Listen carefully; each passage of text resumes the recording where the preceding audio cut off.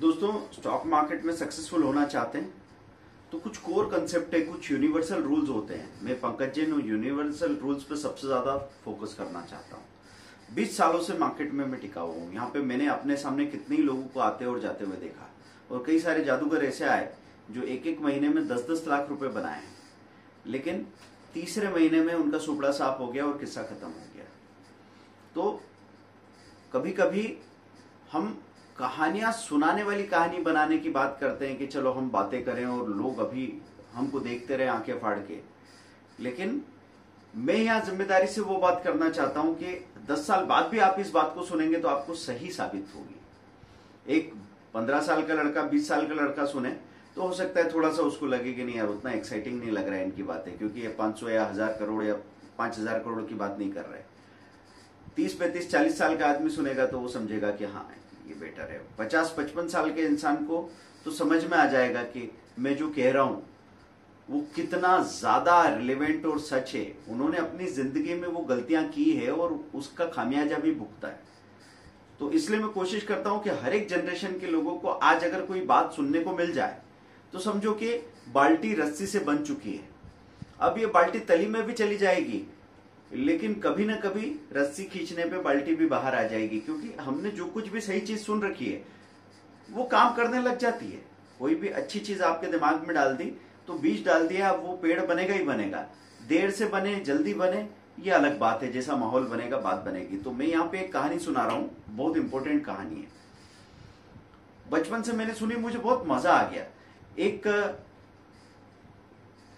बुद्ध संत थे है ना, एक भिक्षु थे, बौद्ध भिक्षु, वो अपना पूरा ज्ञान उन्होंने इकट्ठा किया, पता नहीं कितने शास्त्रों की स्टडी की, कितना ध्यान व्यान किया तो उनको कुछ ऐसा इंसाइट मिला कि उनको लगा, मैं भी एक किताब लिखता हूँ। एक कमाल की किताब लिखने के लिए वो मेहनत करते गए, और आठ दस साल से लगातार वो किताब लिखते चले जा रहे थे। पहले किताब लिखना पब्लिश करना, ये बहुत बड़ी बात थी। भाई, आज की तरह ऐसा नहीं था कि आपके पास ब्लॉगर, व्लॉगर और अपने आप को एक्सप्रेस करने के पचासों तरीके हैं। ये बात अलग है कि बहुत कम लोग हैं जिनके पास कहने के लिए कुछ है, क्योंकि वो सुनने में, देखने में ही बिज़ी है। तो वो लिखते गए आठ दस सालों से, लगातार उन्होंने पैसा भी इकट्ठा किया कि अब इसका प्रकाशन करवाया जाएगा और इसको ज़्यादा से ज़्यादा लोगों तक पहुँचाने के लिए प्रयास करूँगा। लेकिन अचानक फिर गाँव में क्या हुआ? गाँव में आ गया अकाल। तो अकाल आ गया तो जितना पैसा उन्होंने इकट्ठा किया था, उन्होंने कहा, मेरा ग्रंथ तो ठीक है अपनी जगह पे, लेकिन अभी इंसानों को ज़रूरत है इस पैसे की तो उन्होंने लोगों की भूख मिटाने के लिए वो पैसा बांट दिया और फिर वो अपनी मेहनत में लग गए। फिर पैसा जुटाते जुटाते दस साल लग गए, फिर उन्होंने और मेहनत की, भाई, और मेहनत करोगे तो हो सकता है कि आप और थोड़ा रिफाइन हो जाओ, आपको एक नेक्स्ट लेवल की चीज़ मिल जाए। हो सकता है पहले जो आप कहना चाहते थे, अब उससे कई गुना आगे की बात को आपने जान लिया, भोग लिया एक्सपीरियंस कर लिया। फिर आप तैयारी हो गई, आपने कहा, चलो, वो बुद्ध भिक्षु को लगने लगा कि चलो ठीक ही हुआ, अब इससे भी बेहतर काम हो रहा है। बीस साल बाद बिल्कुल तैयारी में थे और इतने में गाँव में आ गई बाढ़। तो बाढ़ आ गई तो फिर से वो पैसा उन्होंने देखा कि गाँव वाले तो बर्बाद हो रहे हैं, और मैं ग्रंथ का करूँगा क्या? मैं पहले तो इनको बचाना है इनकी मदद करना ज़रूरी है। फिर उनकी मदद के लिए उन्होंने जो पैसा इकट्ठा था, वो बांट दिया। अब आप सोचिए पेशेंस किस लेवल का है? दस साल फिर आगे चले गए, फिर वो अपना स्टडी करते रहे और उनके अंदर यही बात थी कि कोई कोई बात नहीं। काम जब होना होगा तब हो जाएगा। मैं जिस वक्त जो सही है वो करने की कोशिश कर रहा हूँ। तीस साल बाद जब उनका ग्रंथ छपा तो उसमें इस लेवल की गहराई आ चुकी थी कि जो वो खुद भी सपना नहीं देख सकते थे।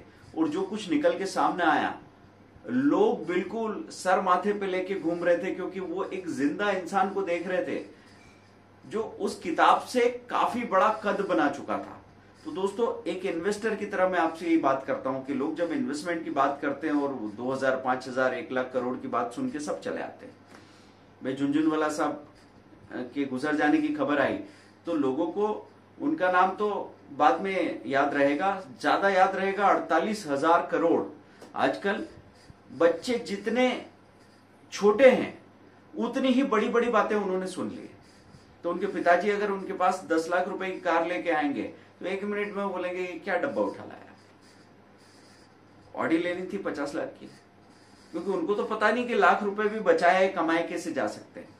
तो जितना बचकाना होता है इंसान, उतना ही ज़्यादा उतावला होता है। और पेशेंस धीरे धीरे डेवलप होता है दोस्तों। मेरे को लगता नहीं कि कोई पैदा होता है पेशेंस लेके पेशेंस धीरे धीरे सीखते हैं और कम लोग सीख पाते हैं। तो यहाँ पे बात हो रही थी कि जैसे लोग पूछते हैं कि, सर, ये जो मैं शेयर खरीद लूँगा, ये कितने दिनों में बढ़ जाएगा?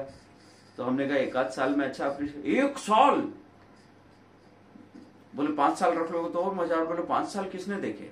और दस साल, बीस साल, तीस साल की बात करेंगे, तब तक तो वो कहेंगे कि दुनिया भी बचेगी कि नहीं, हम भी बचेंगे कि नहीं? और हमने बचाया, कमाया, खाया नहीं तो मतलब ही क्या है इस चीज़ का? ये सब फालतू बातें क्यों करते रहते हैं हम? हम दिन भर भाग रहे हैं। एक टाइम ढंग से खाना नहीं खा रहे किस लिए? आप अपने बच्चे और बीवी और परिवार के भविष्य के लिए ये सारी चीज़ें कर रहे हो। और जब स्टॉक मार्केट की बात आती है, या किसी और असेट क्लास की इन्वेस्टमेंट की बात आती है तो हम इस तरह की बातें बनाने लगते आप अपने ऊपर खर्च करने वाले होते तो फिर तो आप इससे बेहतर क्वालिटी ऑफ़ लाइफ जी सकते थे। आप अपने ऊपर आधा पैसा खर्च करते, आधा परिवार पे करते। पर फिर ऐसा क्यों हो रहा है कि 90 परसेंट आप परिवार पे खर्च कर रहे हैं? क्योंकि आप उनकी बेहतरी, उनका भविष्य चाहते हो।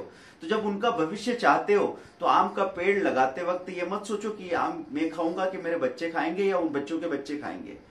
असल बात ये ज़रूरी है कि आप अगर अभी से लॉन्ग साइड फार साइटेड होके शॉर्ट साइटेड मत होइए, निकट दृष्टि वाली बात नहीं होनी चाहिए। थोड़ा दूर का सोच के और अभी कुछ ऐसा इन्वेस्ट कर रहे हैं जिससे आपकी ज़िंदगी नहीं बदल रही। तो इतना ज़्यादा कुतर्क करने की ज़रूरत ही क्या इतनी ज़्यादा बेकार की बहस करने की ज़रूरत क्या है? आदमी के पॉकेट मनी से, पान बिड़ी के खर्चे से अगर करोड़पति बनने की गुंजाइश होती है आपके बच्चों की तो सिर्फ़ अपने ईगो के राइट के लिए आप क्या इस संभावना को खत्म कर देना चाहेंगे? तो ध्यान रखना, इस बात का मैंने अभी जो कहानी सुनाई, उस कहानी में आपने देखा कि अगर 10 साल रखा तो फ़ायदा हुआ। 20 साल या 30 साल अगर आपने किसी स्टॉक को रख लिया ना, कोई भी अच्छा स्टॉक, या मैं तो कहूँ बुरा स्टॉक भी जो ज़िंदा रह जाए, इतना पैसा हो जाएगा कि आप अंदाज़ा भी नहीं लगा सकते। जैसे विप्रो की कहानी थी 1980 में जिन्होंने 130 का खरीदा, दो तीन साल बाद भी वो 200 या 300 रुपए में बिक रहा था।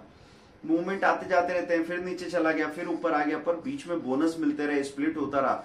धीरे धीरे सौ शेयर छह लाख शेयर हो गए 2007 तक। और तेरह हज़ार रुपए, तेरह करोड़ नहीं 130 करोड़ नहीं 330 करोड़ रुपए बन गए थे। तो 30 साल तक रुकने के बाद जो आपको पैसा मिलेगा, वो पैसा इतना बड़ा है, जिसका आप अंदाज़ा भी नहीं लगा सकते। तो दोस्तों, ये जो पेशेंस है, ये पेशेंस में हर साल की एक एक्स्ट्रा कीमत है। हर डिकेड मतलब मैं कई बार ऐसा बोलता हूँ कि आप अपने बच्चों को स्कूल की फ़ीस दे रहे हैं। तो एक बच्चे पे आप अगर महीने का टू थाउज़ेंड फाइव थाउज़ेंड खर्च कर रहे हैं, एक और बच्चा है पोर्टफोलियो उस पर फाइव थाउज़ेंड टेन थाउज़ेंड आप खर्च कर रहे हैं, उतना ही जितना बच्चे पे कर रहे हैं। अगर ये पोर्टफोलियो तीस साल ज़िंदा रह गया तो फिर आपके बच्चे क्या उनके बच्चे के बच्चों को भी और आगे आने वाली तीन पीढ़ियों को भी काम करने की ज़रूरत नहीं पड़ेगी?